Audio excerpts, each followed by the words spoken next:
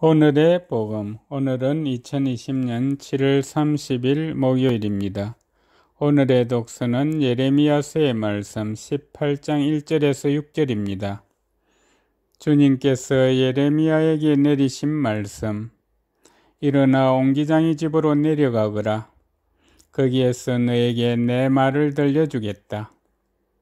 그래서 내가 옹기장이 집으로 내려갔더니 옹기장이가 물레를 돌리며 일을 하고 있었다. 옹기장이는 진흙을 손으로 빚어 옹기 그릇을 만드는데 옹기 그릇에 흠집이 생기면 자기 눈에 드는 다른 그릇이 나올 때까지 계속해서 그 일을 되풀이하였다. 그때 주님의 말씀이 나에게 내렸다. 이스라엘 집안아, 주님의 말씀이다. 내가 이 옹기장이처럼 너희에게 할 수 없을 것 같으냐? 이스라엘 집안아, 옹기장이 손에 있는 진흙처럼 너희도 내 손에 있다. 주님의 말씀입니다.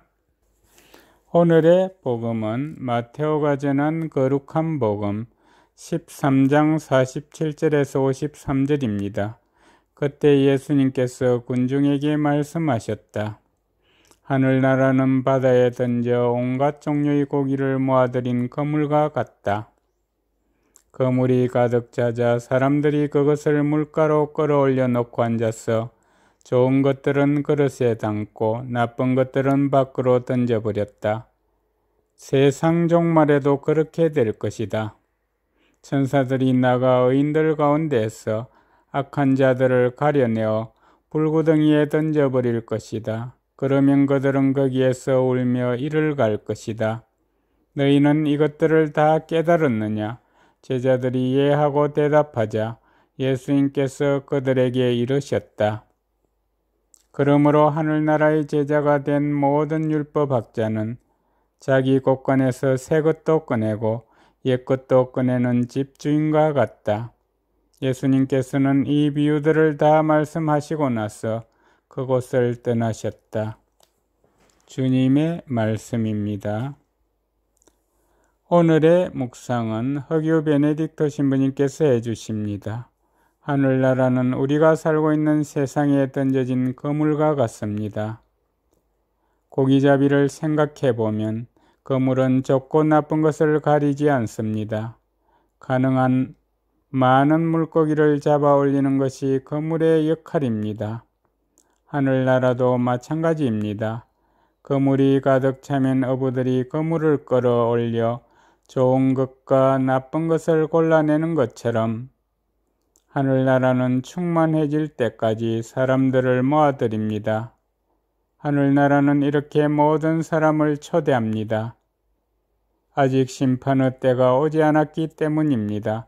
종말이 오면 그때 비로소 좋은 것과 나쁜 것을 가리는 심판을 받게 될 것입니다. 오늘 말씀은 종말에 있게 될 심판을 언급하여 우리에게 의로운 삶을 살라고 경고합니다. 그러나 그것보다 먼저 하늘나라가 모든 사람을 초대한다는 것을 강조합니다. 하느님께서는 누가 의인이고 누가 악인인지 지금 심판하시지 않으십니다. 우리에게 시간이 주어진 셈입니다. 왜 죄가 없어 보이는 사람들이 고통당하고 불행하게 살고 악을 저지르는 이들이 편하고 행복해 보이는지, 하느님의 심판은 어디에 있는지, 왜 하느님께서는 악한 사람들을 그냥 두시는지 우리는 질문하게 됩니다. 왜일까요? 아마도 그 답은 하느님이 아닌 내 안에 있을 것입니다. 나도 죄를 짓고 실수를 하지만 지금 심판받지 않고 용서를 체험하며 살아가기 때문입니다.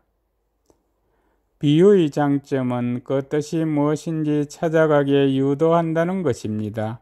예수님의 비유는 나의 삶 속에서 말씀의 뜻을 고민하고 그 의미를 찾게 합니다. 이렇게 하나씩 의미를 깨달아가는 것이 우리 안에 있는 하늘나라를 경험하는 방법일 것입니다.